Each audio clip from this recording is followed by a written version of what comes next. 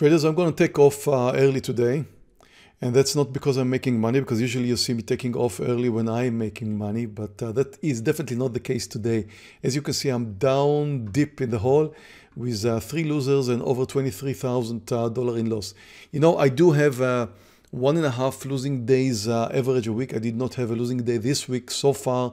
well, it's just the third day and we do have short week, but you know, that's that's my average and that's my average winning day and that's my average losing day and I'm done with just three trades. Uh, the short uh, description of what I did today is uh, going long Tesla and before moving higher it took me out so I have a loser in Tesla. I went long uh, mRNA which is well what can I say it looked good when I did when, when I did go long but uh, then look at what happened uh, later. Fubo really just going sideways I went short Fubo and anyway I'm uh, done with the three losing trades. I do want to talk to you real quick about um, three straight losses rule.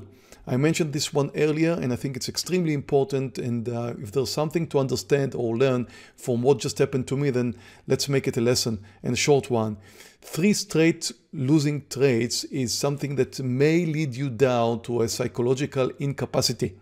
You're not supposed to continue trading if you start your day this way. You know, you start your trading day. While you start your trading day, you could have a first loser. That's fine. It's not terrible. Then you, you could definitely bounce. You shouldn't take it too hard because, you know, it's your first trade. Your first trade is down. Um, if you do think about it too much, then you don't believe in yourself a lot, and then you could it could lead you to not believe too much in yourself and be uh, too careful with your second trade or whatever. So first trade losing, no big deal really. How about a second trade? Well, that may be a bit challenging, but you still need to get over it. Possibly lower your size for the third trade. As you can see here, my first trade was my biggest loser, Tesla. Second trade was a bit smaller loser, mRNA. Uh, third one also just a bit smaller. But the thing is, if you con continue losing, lower your risk and you are okay to take your third trade. It did happen to me quite a lot that I had two red trades and uh, trades and somehow bounced. But now what happens if you are going for a third loss? Well, tell you what, if you are going for a third loss, you are not in a suitable psychological state uh, to trade responsibly. You're just not. You just went over the line.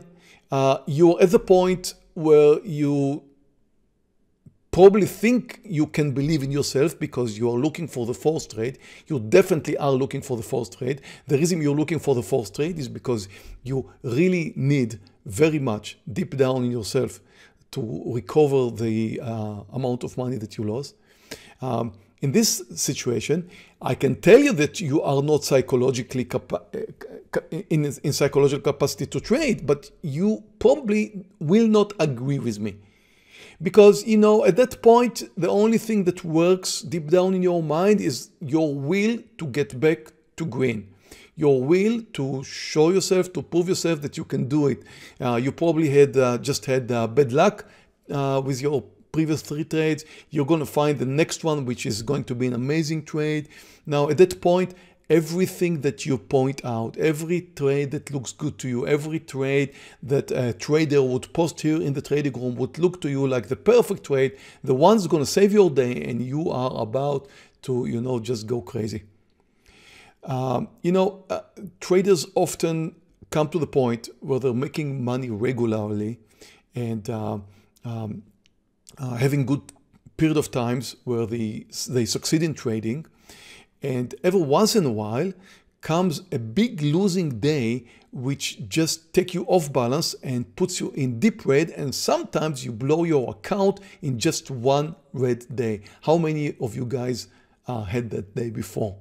Not necessarily blow your account, but uh, goes down deep red after just one terrible day, after getting to the point where you totally you know, you believe in yourself, you're doing well for weeks, and then all of a sudden, just one big, great uh, red day. So, you know, when I started out trading, it happened to me quite a lot.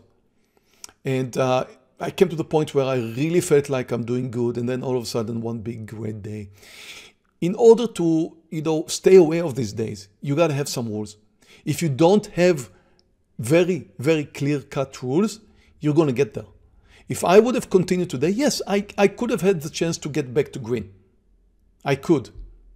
But I'm not aware that the situation that I am in right now is a situation where I am really at risk to myself.